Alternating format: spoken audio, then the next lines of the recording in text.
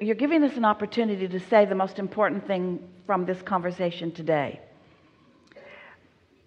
And you have the feeling of the vortex, turning thoughts to things, turning thoughts to things, and then manifesting. You know what we're talking about over here where manifestation is.